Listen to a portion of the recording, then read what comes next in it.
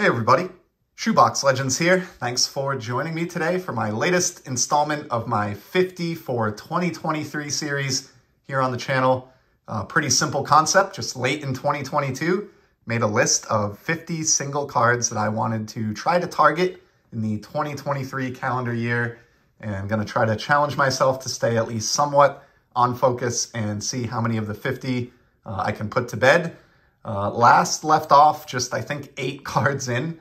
Um, so I have 42 left to go, and we're already, you know, in the end of or towards the end of March here. Uh, so I really need to get this uh, moving. And I do have some other cards that I've picked up off the list. So today we're going to do card number nine. And as you can guess by the backdrop, it's going to be a Mike Trout card. So uh, we last left off with a 50s vintage Dodger card. Going to move forward now quite a few decades into the 2010s, uh, 60 years later, something like that, and take a look at a couple of trouts. Um, technically, this is only one item on my list, so it's only going to be number nine off the list, but I did get two cards uh, to kind of fill the spot, so I sort of overdid it on this one. Um, but the backstory here, I've collected Mike Trout um, on occasion, on and off, since probably 2015, 2016, somewhere thereabouts. So I don't have uh, one of the world's, you know, biggest trout collections or anything like that, uh, but I have a smattering of cards here and there. So when I sat down to do this list, I looked over kind of what years were the weakest or where I needed kind of better representation um, in my collection to kind of more fully round out my Mike Trout PC. And what I found is uh, I have a couple rookies that I'm happy with. Uh, I'm doing pretty good on second year 2012 cards. Um, did a whole episode on kind of a rainbow of different parallels of his 2012 Topps and Topps Chrome card. So looking pretty good from those first two seasons. And what I decided to add to the list is his 2013 release. Um, for some reason, kind of just started with the earlier two years and uh, hadn't made much, if any, progress on 2013.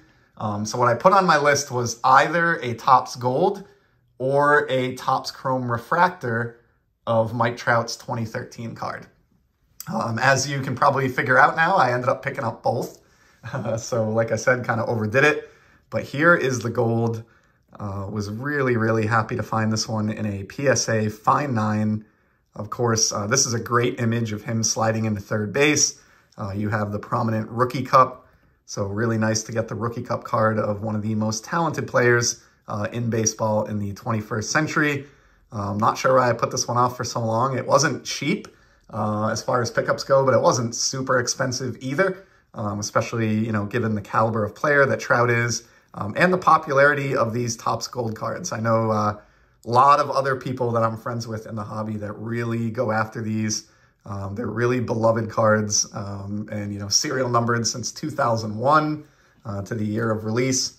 And so obviously this one is out of 2013 here in the upper right on the back, copy 291 of 2013. So really, really proud to be the owner of one of the uh, just over 2,000 copies that exist out there in the wild of this Mike Trout Topps Gold. So uh, feels like a significant pickup for my, my small little Trout collection and uh, really, really happy to add that one. And then as I mentioned, you know, I did leave myself some some leeway to go after either the Topps Gold or a Refractor. Um, but in this case, the price was just right. Um, at different times this past off season, I really feel like Trout was kind of undervalued and you could get some of his cards for a pretty cheap coin compared to, I think, where they should be.